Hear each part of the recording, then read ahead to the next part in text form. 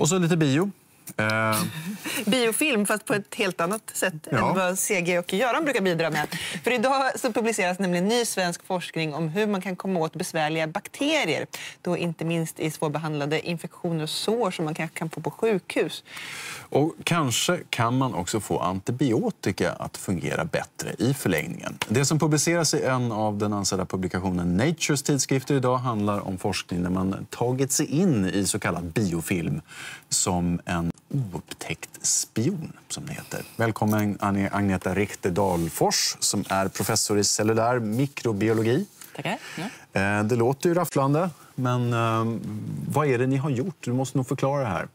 Ja, det vi har gjort är att vi kikar på hur bakterierna lever. I vanliga fall så lever de som en och en och eh, kan vara ganska så lätta att komma åt och för att få bort. Men Man bara liksom ja, gör sådär då om man vill. ja, städa bort Ja, ett par stycken sådär, när du tar en ja. trasa. Men i andra lägen så går bakterierna in och bildar en speciell form av livsstil som kallas för en biofilm. Och det är när, I den här nu så ligger alla russina som illustrerar bakterierna inbäddade i ett klet som bakterierna producerar. De bildar gäng helt De enkelt. bildar ett stort gäng, ett helt eget samhälle. Och gör de, de- håller ihop stenhårt genom att de producerar kletmolekyler som håller dem samman. Ja, och det gör dem starkare. Och Det gör dem motståndskraftiga. mot både antibiotika när det är i kroppen eller mot en disktrasa om du är i, i köket eller eh, i sjukhusmiljön när du ska städa i sjukhuslokalen. Och det här kletet, har ni vetat att det fanns då tidigare? Kletet vet man att det finns, men det har inte funnits något sätt att, att titta på det. Så det vi har gjort nu är att vi har hittat på en helt ny metod där vi i princip kan spraya på en, eh, våran eh, kemiska substans och lysa på det här så att vi kan få det här biofilmskletet att lysa. Så det är precis som om ni kikar på den här CSI-serien när man använder luminol för att titta efter blodstänk i ett mörkt rum.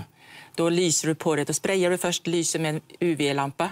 Och så har de ju glasögon på sig för, för, och solglasögon för att eh, titta på ljuset som kommer bort. Men vad är då skillnaden? Om du, om du till exempel är på ett sjukhus och så, Ja. har, du, så har du det här, det här bakteriehärden här som är liksom enskilda bakterier och bredvid det så har du det här kletmojset. Yes. Eh, vad, vad är skillnaden mellan de här? Då? Skillnaden är att bakterierna lever på ett helt annat sätt här. Man klarar mycket tuffare miljöer.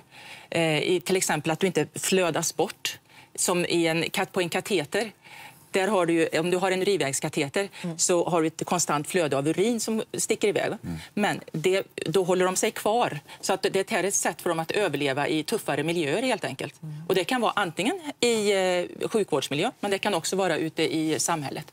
Ett ställe där man har nytta av biofilm det är till exempel i eh, eh, reningsverk där man använder sig av biofilm. Eller På ett bra likaså i, sätt. på ett bra sätt och likaså mikrobiella bränslen. Men okej, men nu vet ni hur, hur det här ser ut, lite grann eh, kanske då hur, hur, det, hur det funkar. Ja. Ja. Eh, vad gör man med den kunskapen då? Vad, vad kan man göra med den kunskapen?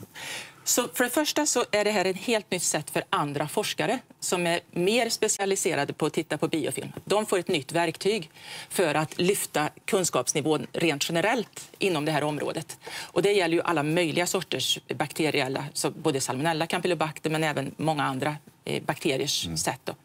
Så dels ett nytt verktyg för forskarna, men Eh, hela vårt eh, center där jag arbetar, vi är också mycket för att hitta samhällsnytta ganska tidigt. Och eh, på så sätt så kan ju det här bli ett nytt eh, detektionssystem för till exempel i restaurangkök. Att istället för att du ska behöva ta en odling ta ett prov och gå och odla i flera dagar för att se vad var det här för bakterier, var det rent eller inte. Campylobacter kan- till exempel. Ja, Ja. precis, för kycklingen. Så kan du tänka dig att du istället utrustar de här inspektörerna med vår, eh, en spray. Men är det, kan man se med blotta ögat då, eller hur funkar Inte än. det? Inte än. Vi hoppas du komma dit. Ja, ja, ja, ja, men vi, det, vill, det vill vi göra. Men det blir alltså just enk- idag så måste du enklare ha en att städa? Det är det, alltså, om man då ser det här. Är det så det är? Eh, Det blir, eh, man kan, ja, Man, så kan man säga. Man kan få bort det? Du kan, när, genom, genom att du ser det, att du vet att det finns, så kan du också gå in och få bort det.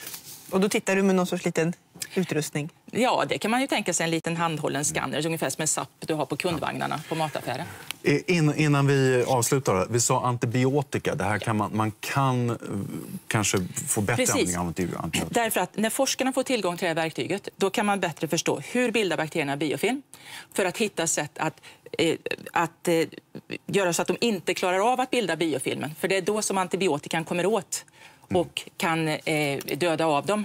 Som de, när de är i det här tillståndet. I det här tillståndet så kommer inte antibiotikan in till bakterierna. Och då, det är och då det kan man använda gammal vanlig antibiotika kanske då och ta sig in genom det här skiktet. Ja. Och då kanske den funkar igen. Det kanske funkar igen. Ja, det här är som att höra om infiltration av kriminella gäng. Tack så mycket för att du kom hit, Agneta Richter Dorfors Tusen tack. berättade om dina biofilm. Tack. Spännande.